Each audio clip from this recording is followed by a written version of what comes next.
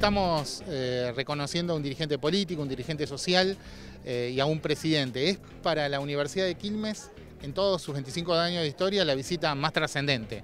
Nunca estuvo aquí en la universidad un presidente latinoamericano en ejercicio. Y es, eh, la verdad que es un orgullo poder recibirlo acá y entregarle el doctorado honoris causa a Evo Morales, que nos ha acompañado a los argentinos en tantas luchas. Agradecer a las dos universidades y para mí sigue siendo una sorpresa, pero más que un reconocimiento a Evo es reconocimiento al pueblo boliviano, a nuestros movimientos sociales, a los sindicalistas, a los luchadores contra un modelo económico, a los luchadores por la liberación de nuestros pueblos de América Latina y el Caribe. Eh, por eso muy contento, agradecer a nombre mío, a nombre del pueblo, a las dos universidades por este reconocimiento. Evo Morales es un líder latinoamericano que está construyendo un proyecto de país alternativo de reconocimiento de la pluralidad en, Bolivia y que impacta sobre todo América Latina.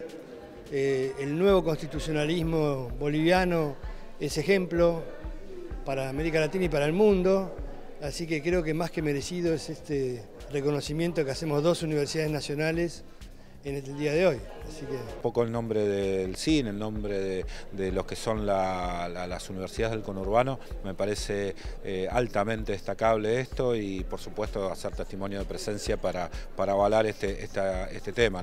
Hace 10 años el debate sobre la ALCA eh, eh, y el entierro del ALCA en Mar del Plata ha sido una esperanza, un amanecer para los pueblos de América Latina que separó las políticas eh, del capitalismo, del imperialismo. Saludamos a los presidentes, expresidentes, hasta presidentes que en paz descanse, como Hugo Chávez, como Néstor Kirchner, pero nos dejó un camino a seguir y las nuevas generaciones tienen la obligación de seguir liberando nuestros pueblos.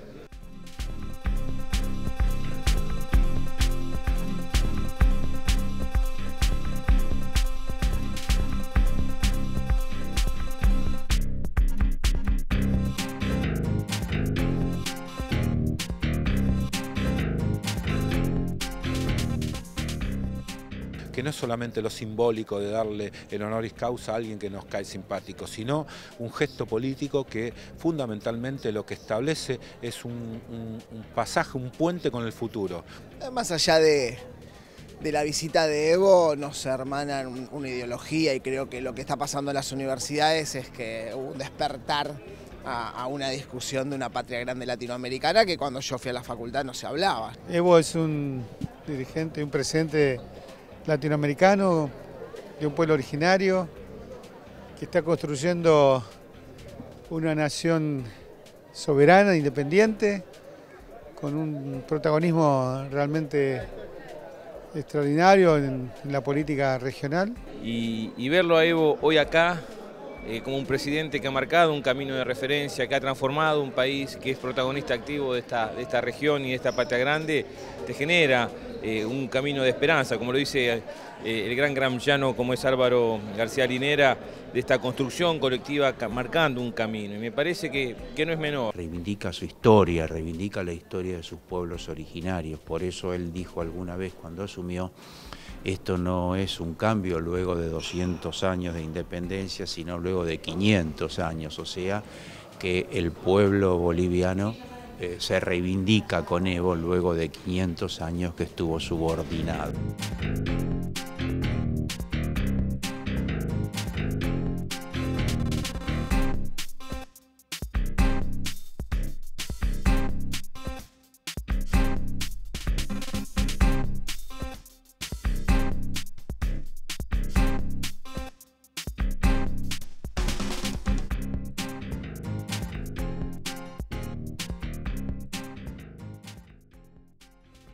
Justamente la República eh, Plurinacional de Bolivia es uno de los sostenes más fuertes que tenemos y uno de los apoyos más fuertes para el lanzamiento de este proyecto, que todavía es un proyecto de Universidad Plurinacional de la Patria Grande, eh, y que estamos elaborando justamente junto con Hugo Trinchero, el rector de la Universidad Nacional de José Cepaz, la otra Universidad Nacional que junto a nosotros hoy le está otorgando al mismo tiempo el doctorado honoris causa. Las universidades han sido tradicionalmente conservadoras pongan en primer plano eh, un reconocimiento a un dirigente como Evo Morales, eh, en realidad está hablando de un sistema que se ha salido de ese ostracismo conservador para ponerse a tono con las necesidades no solo de la nación argentina, sino de la patria grande latinoamericana. Aún antes de ser eh, presidente, participó de la movida del no al ALCA